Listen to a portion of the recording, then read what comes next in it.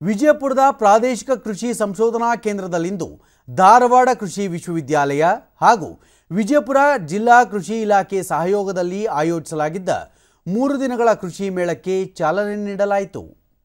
ಸುಸ್ಥಿರ ಕೃಷಿಗಾಗಿ ಬರ ನಿರ್ವಹಣೆ ಘೋಷವಾಕ್ಯದಡಿ ನಡೆಯುತ್ತಿರುವ ಈ ಮೇಳದಲ್ಲಿ ಆಧುನಿಕ ಕೃಷಿ ತಂತ್ರಜ್ಞಾನದ ಮಾಹಿತಿ ನೀಡುವ ವ್ಯವಸ್ಥೆ ಮಾಡಲಾಗಿದೆ.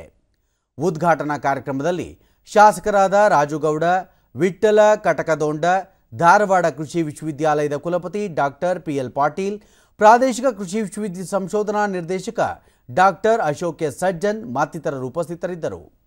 ಬಳಿಕ ರಾಜುಗೌಡ, ಮಣ್ಣಿನ ಫಲವತ್ತತೆ ಸಂರಕ್ಷಣೆ, ನೀರಿನ ಸದ್ಬಳಕೆ ಇಂದಿನ ಅನಿವಾರ್ಯವಾಗಿದೆ. ಉತ್ತಮ ಇಳುವರಿಯೊಂದಿಗೆ ಲಾಭದಾಯಕ ಕೃಷಿಯನ್ನು ನಿರ್ವಹಿಸುವುದು ಎಲ್ಲ ರೈತರ ಆದ್ಯತೆಯಾಗಬೇಕು ಎಂದರು. ಏನೈತಂದ್ರೆ ಶಾಣ್ಯಕ್ಕೆ ಆ ದೇವ್ರ ಮ್ಯಾಗ ದಯ ಭಕ್ತಿ ಭಯ ಎಲ್ಲಾನು ಬೇಕು. ಅದನ್ನ ಎಲ್ಲೆಲ್ಲ ಸಿಕ್ತಿದ್ರ ಅದು ಕೃಷಿ ಒಳಗ ಮಾತ್ರ.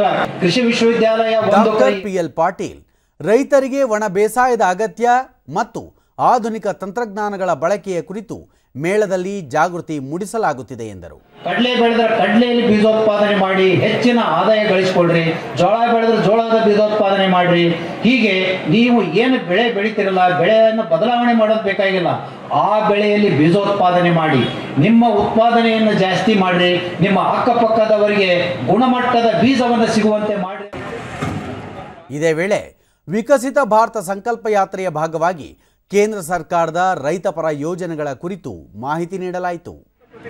ಇದೇ ವೇಳೆ ಕಿರುಚಿತ್ರವನ್ನು ಪ್ರದರ್ಶಿಸಿ ಯೋಜನೆಗಳ ಮಾಹಿತಿಯನ್ನು ಒಳಗೊಂಡ ಕಿರು ಹೊತ್ತಿಕೆಗಳನ್ನು ವಿತರಣೆ ಮಾಡಲಾಯಿತು.